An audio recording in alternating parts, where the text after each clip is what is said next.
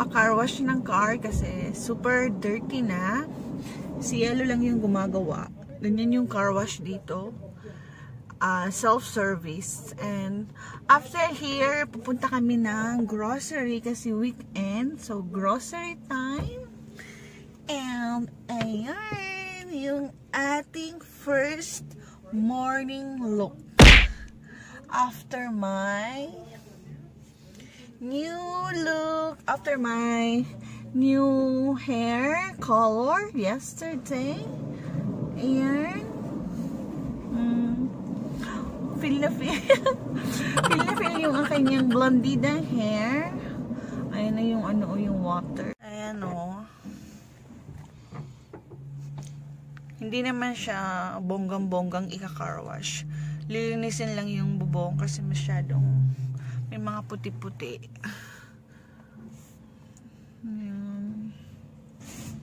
Oh my God! Allah siya! Uy! Kasumay ito, oh. Uy, Luwin!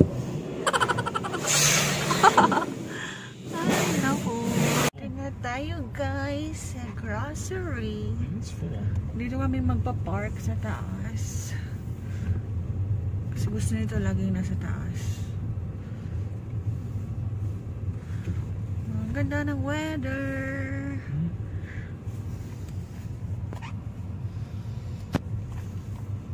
Nandito tayo guys sa mga foreign food, mga Asian food dami nilang noodles wala naman silang Filipino noodles suba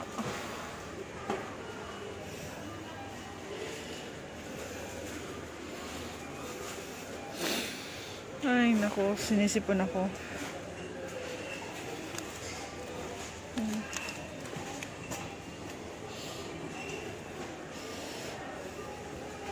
mga spices Hello.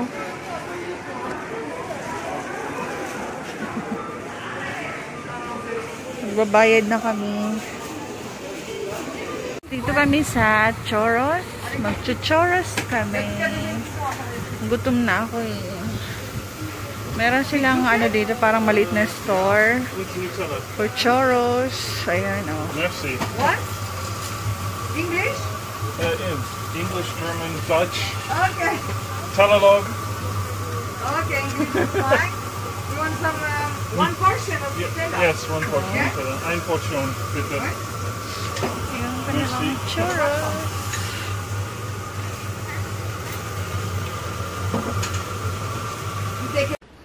Ayan, guys.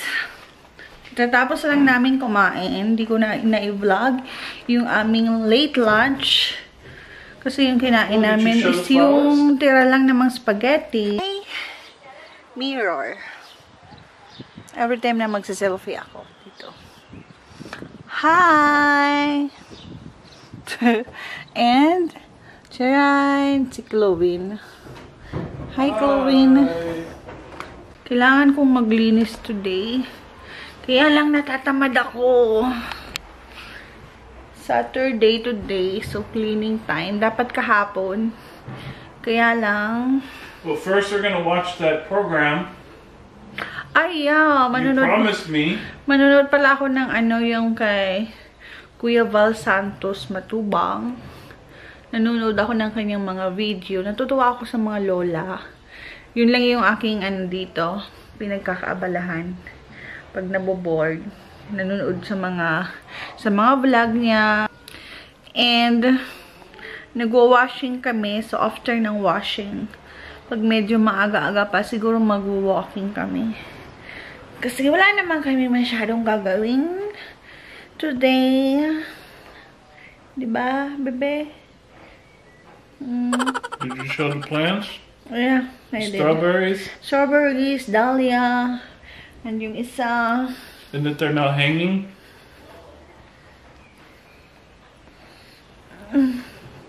parang naninibago ako guys sa aking buhok.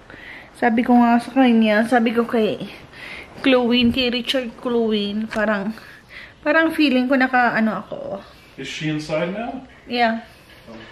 Parang feeling ko doors ako ng are open, wig. you know that, right? I know. She's inside now. Well, I meant the bedroom doors, all of them. Ay. Sarado ko yung mga pintuan kasi pumapasok yung pusa eh. Ito oh, galing ng ano, galing dito sa aming uh, dressing room. Kailangan sa kasi umaakyat siya eh. Baka mamay umakyat sa may kama tapos umihi.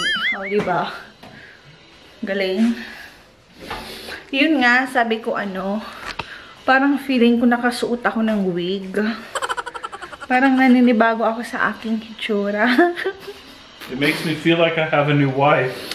Ay! Look, brand new wife. Blondie Barbie girl.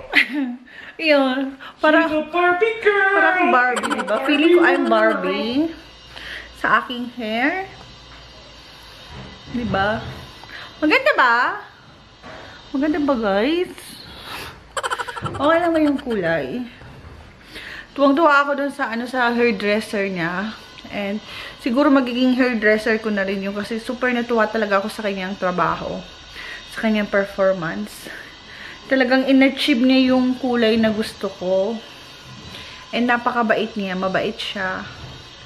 Ano siya? Swiss. Nakita niya yung, yung video kahapon. Yung sa aking um, parlor. Parlor time. Andun siya. Mabait siya. Tsaka maganda yung ano niya, yung service. Talagang worth it yung ibabayad mo. So, kung nandito kayo sa Basel, sa Switzerland, punta kayo ng Basel. Doon kayo sa kanya magpaayos ng buhok, magpariban, magpakulay. Hindi namin afford yung magpariban. Ang mahal. So, ano lang, kulay lang, color lang. Which is very expensive pa rin. May tabi ng Holy Cow Restaurant sa likod nun. Andun. Eh, yung sa ibabaw pala, second floor. Andun yung kanyang parlor. Napakabait ni Lisa Antonella. Ayan, pinopromote ko na yellow ha. I'm promoting her Oh no. parlor or service. Papunta kami guys dun sa may ah, kanal. Ganda ng mga flowers. Lalo na yung mga roses. Yan ang ganda o mga wild. Yung iba naman is mga nasa garden. Ang gaganda. Ito oh, tingnan niyo yung roses. Wow! Oh, ang ganda. Beautiful. May tao. ang dami nilang rose sa loob ng bakuran. Well, that would be something that possibly could stay on the balcony in a big pot. And this area naman guys, ito yung mga strawberries.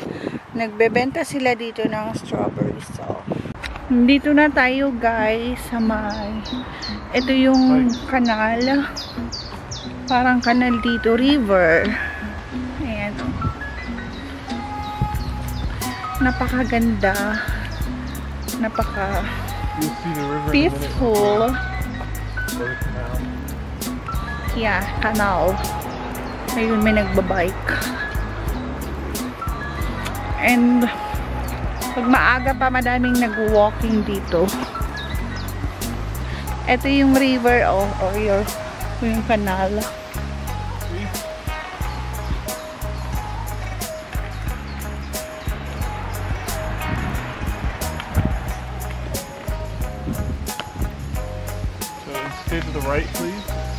We, it gets narrow here.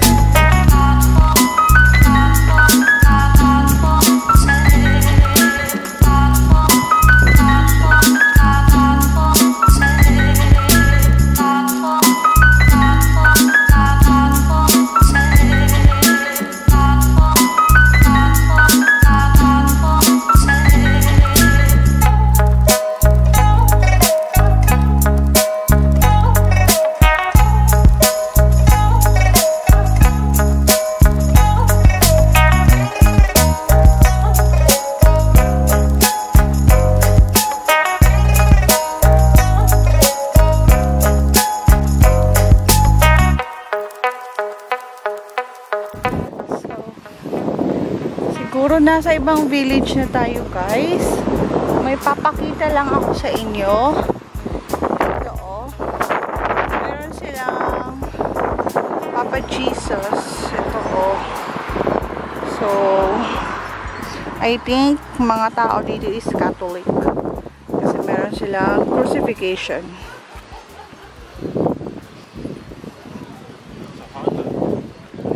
Ano ito? Restaurant. Mga tao. That's convenient. We're on the street of St. Louis.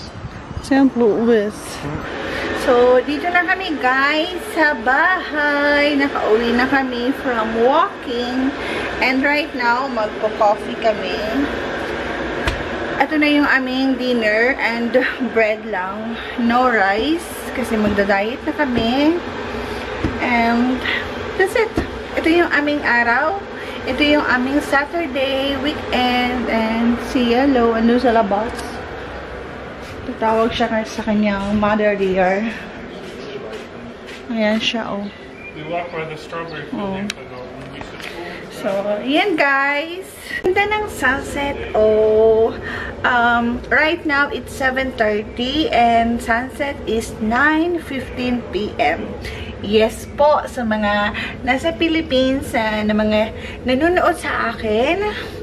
Right now, it's 7.30 na, but still napaka sunny pa rin. Kasi papunta na kaming summer, so medyo late na yung sunset. So, thank you again for watching. Sa mga hindi pa nakasubscribe, please do subscribe. Lagi kayong updated sa aming mga next vlogs. So thank you guys again. Bye for now. Please don't forget to share, like, and subscribe. And please hit the bell notification. Bye-bye.